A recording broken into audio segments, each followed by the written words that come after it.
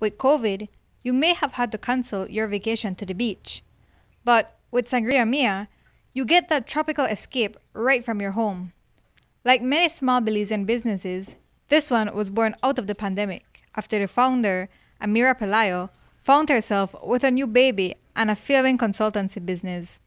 That's when she decided to use her sangria skills to venture into entrepreneurship. In that time, it was really hard to to actually, you know, um, generate some sort of income, and so I began to sit and I was thinking, you know, what else can I do?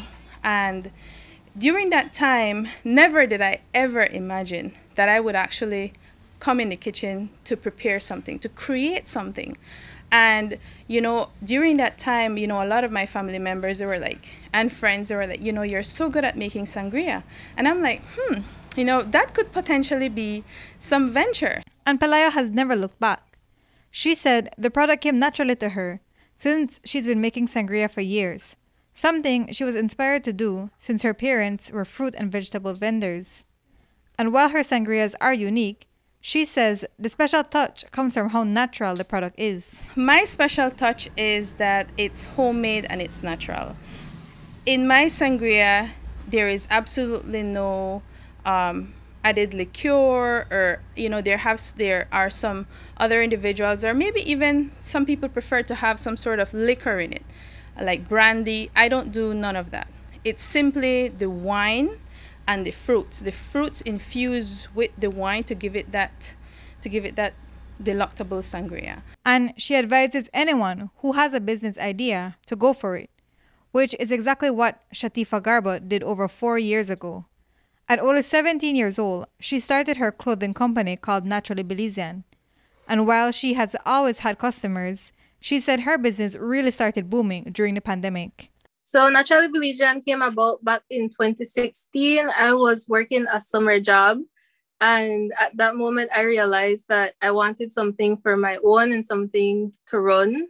And then I realized why not just be an entrepreneur? So um, that summer, I saved my last pay, my last paycheck. And I decided, you know what, the time for create a business. So in 2016, the whole curly hair trend was going around.